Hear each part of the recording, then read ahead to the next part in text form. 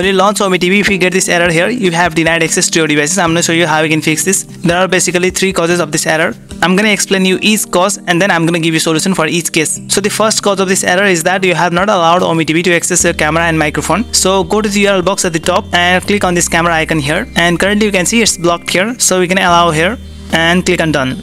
Now if you reload this page, it has automatically fixed the issue. Now let's go to second cause. Even if I have granted the camera and microphone access here, I'm getting this error on OmeTV. So this leads me to explain the second cause that is your PC camera is being accessed by any other applications or softwares. Now check for any other applications that are accessing your PC camera. You can see I have a snap camera here and it's accessing my PC camera and it's not showing on OmeTV. So I can close this here snap camera and make sure that you exit all the applications that are accessing your camera and also exit it from tray right click on snap camera and quit it now if you go to OmeTV and relaunch the site it automatically fixes the issue just like this. Now the third case is that you get this kind of error sometimes if your PC camera is disabled on device manager.